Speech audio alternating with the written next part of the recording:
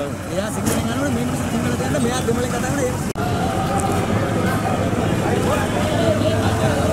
ගන්න පුළුවන්ද? ආ. ඩිපෝ ගිහිල්ලා එක්කෙනෙක් මේ ලංකාව දෙමළ කොහොමද? යාපනයේ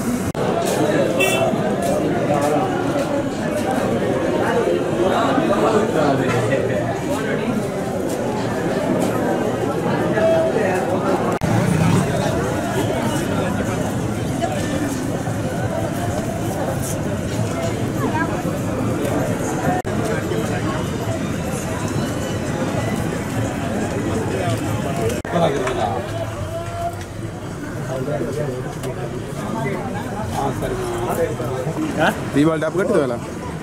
අපේ අවුරුදු આવුත් එහෙම තමයි. සාවනේ මොකුත් ඡන්දේ වුණත් ඡන්දත් නම් දැන් වාරේ. ඉන්නකොට ඉන්නට දායකට දාන්න. ඒක කක්වත්.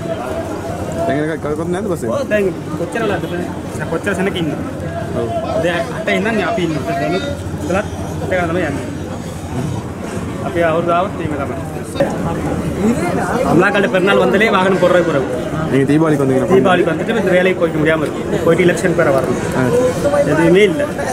இலங்கை போக்குவரத்து சபை சூப்பராக இலங்கை போக்குவரத்து சூப்பராக இருக்குது பார்த்தீங்க தானே கிடப்ப அமலாக்காண்ட பெருநாள் வந்தாலே இதே மாதிரி தான். இத்தனை பெருநாளாக இருக்கட்டும் தீபாவளி பொங்கலாக இருக்கட்டும் எப்போ வந்தாலுமே வாகனன்றது இருக்காது. டிக்கெட் சாதாரண கணக்கு எடுக்கிறாங்க? டிக்கெட்டில் சாதாரண கணக்கு தான் எடுக்கிறாங்க. ஆனால் வேலை இல்லை.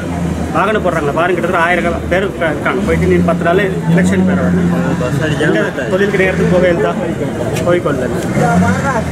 அஞ்சு மரம் இருக்கிறாங்க. போக்குவரத்து சபையும் இருக்குது. இல்லை. வேறு இல்லை. இந்த ரெண்டு